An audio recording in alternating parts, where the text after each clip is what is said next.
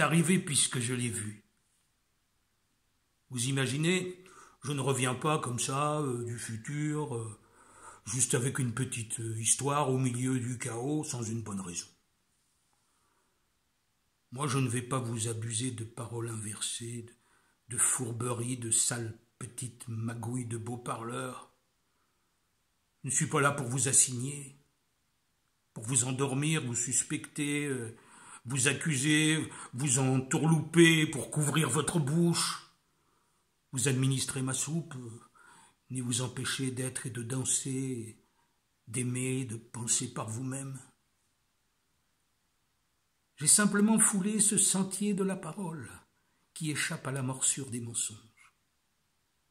Et je les ai vus tomber. Alors je reviens du futur, du pays des animaux, du monde libre de ses lettres qui s'organisèrent et, chassèrent de son trône le puissant roi du verbe avoir. Alors je reviens ici pour vous secouer un peu, pour vous nourrir avec une histoire de mots. Les contes, les conteurs, c'est fait pour ça. Ce sont les mots qui comptent. Il y avait jadis un royaume perdu. Son roi était si perfide, si retors qu'une chauve-souris posée, tête en bas, le voyait quand même debout.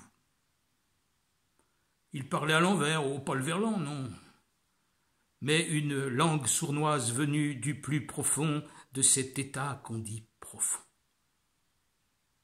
Car en ce pays-là, la langue officielle était empoisonnée et fourchue, elle faisait de l'envers et contre tous. Elle avait perfidement euh, posé l'accent circonflexe de l'abîme sur la cime pour écraser le V de la vérité, inversé sous un torrent de haine. Et tout ça organisé dans un alphabet falsifié. Les mots étaient fichés, fléchés, masqués, tracés, pucés, vaccinés, égard aux mots libres, car ils pouvaient contaminer la langue officielle. Vous appelez ça une langue? Une langue? Une langue. Un charabia qui enfermait au nom de la liberté, qui vous tordait le bras tout en disant qu'elle le redressait, faisant du B un D. Elle vous cassait la jambe pour vous la recoller. Elle vous faisait tourner en bourrique et vous épuisait, bref. Elle excluait les uns, mais c'était, figurez-vous, pour protéger les autres. Elle avait combiné le A, le R et le N pour torpiller le A avec le D et, et le N. Elle bafouait ses propres lois, elle faussait ses règles au nom de, la justice, elle divisait à la gloire de l'unité, elle empêchait les mots de se soigner, même elle les rendait malades à coups d'interdits de comprimés de paracétamol, soi-disant soucieuses de leur santé. Elle mentait, elle mentait, elle truquait les recherches, les chiffres, les études, par souci de la science, bien sûr, de la sienne. C'est qu'elle avait fait Sciences Mo et le. Elle vidait les greniers à blé, par amour du blé. Elle vous faisait les poches, mais par solidarité. Elle dilapidait les ressources vitales du verbe, au nom du respect de l'environnement des mots. Elle se cachait derrière le réchauffement syntaxique et monnayait le droit de polluer la parole, accusant les uns et les autres du malheur qu'elle répandait. Elle interdisait à quiconque de formuler la moindre vérité pour infliger sa pensée unique.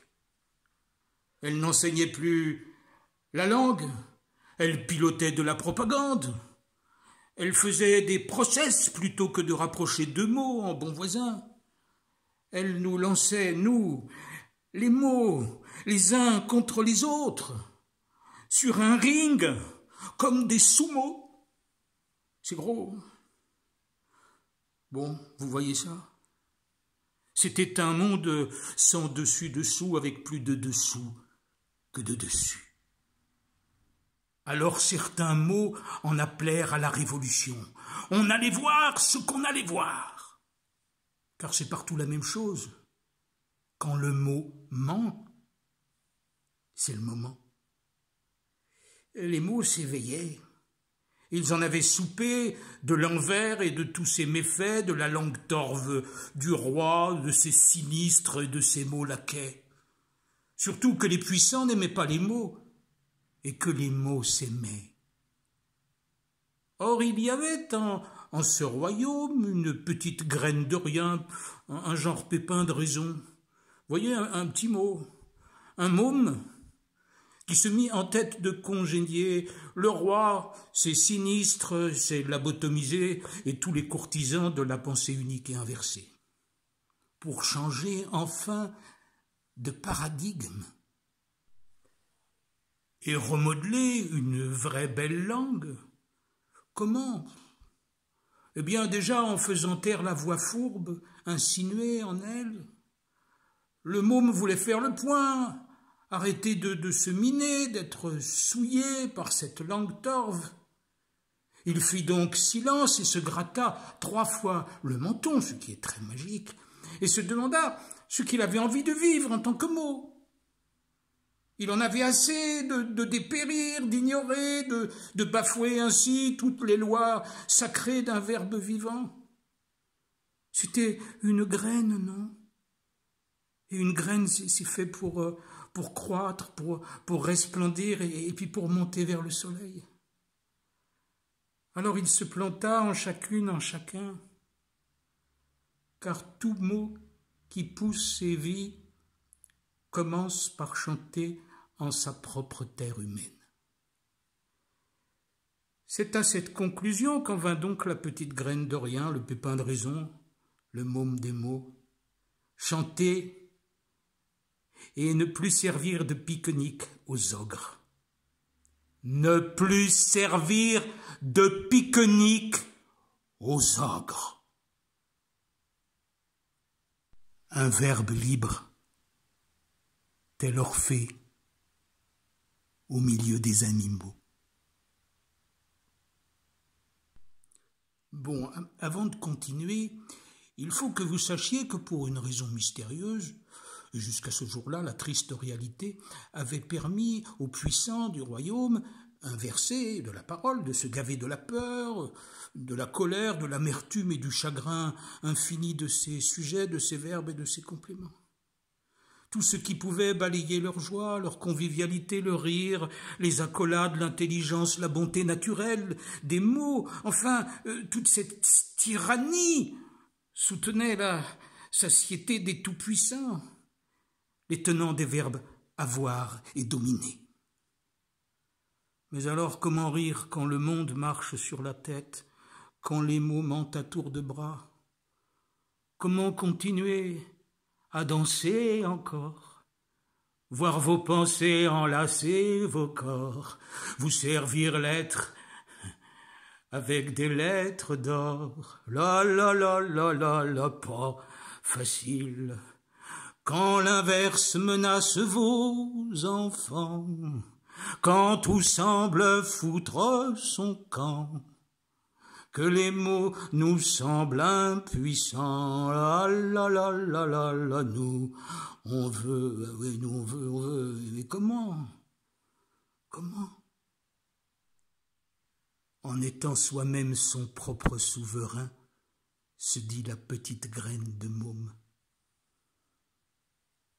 Chacune et chacun, main dans la main, mot à mot, dans l'être humain, une mosaïque de mots, euh, de mots, du mot, du, Mozart. Et, c'est là que tout changea. Obéissez tout de suite, hurla le roi. Euh, non, firent les porteurs de graines. Tout compte fait, non, non, on n'obéit pas. Mais, je vais vous rendre euh, la vie invivable, moi. Vous serez des, demi-mots. Euh, vous, vous pourrez, euh, vous ne pourrez être murmuré qu'avec un QR code. Euh, tout, toujours les grands mots. Qu'osent toujours dire les éveillés. Nous, les animaux, on a fait un pas de côté. Désormais, on écoute Orphée. Le roi devint encore plus fou, hystérique, mais toutefois il maigrissait à vue d'œil. Il n'y avait plus de pique-nique organisé à sa gloire, et les mots se rassemblaient pour partager leur repas sous les étoiles. Bientôt le roi fou devint flasque et, et nu, il avait perdu son pouvoir. Pas moyen pour lui de faire une seule phrase qui ne fût un gargouillis, un râle sur l'autel de l'imbécilité. Il avait d'ailleurs le moral à la bouche, et il avait surtout le moral dans les chaussettes.